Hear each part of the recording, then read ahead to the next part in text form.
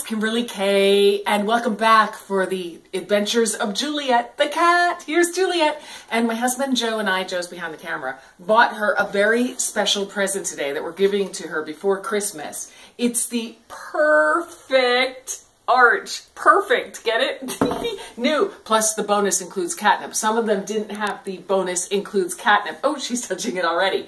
And it says that it's a self-groomer and massager all in one. Now I'm holding it upside down because you, you got to screw this thing in. Obviously it comes in this flat box. And then it says to put a little catnip down in here, which we don't understand at all. So let's see if it works. We're going to turn it over and see if Juliette likes it. Go ahead, Juliette. Try it. Let's see. She's supposed to go through it and scratch. Oh, she's biting it. I don't think she's supposed to do that. Go ahead, go through it.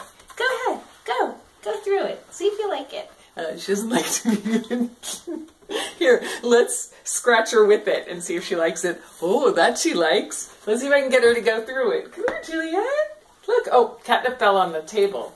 Juliette. Let's see. Go through it. Look, I think you'll like this. Go ahead. Go through it. Want mommy to go through it first? Wait, I'll put my head through it and we'll see. Watch, this is how you do it. What do you think? see? See, that's how you do it. Now you try it.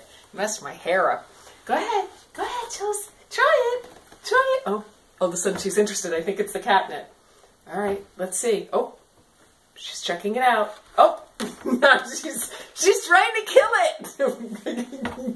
oh, look, she's using it. She's scratching herself. She's brilliant. She's, oh, she's a brilliant kitty. She's, my kitty's brilliant. Go ahead, do it again. Do it again. Yeah, that's good. Try it again. There's a lot of catnip all over the counter, though. Go ahead, Jules. Do you like it? Here. Do you want mommy to do it again? Here, mommy will do it again. Look, look. Oh, it feels good. Okay, now you try it. Go ahead. Oh, she likes the box. That's always the way. Your kids like the box better, right? Juliette, go ahead, try it. Try your scratcher. There, doesn't that feel good? All right, this may take some work.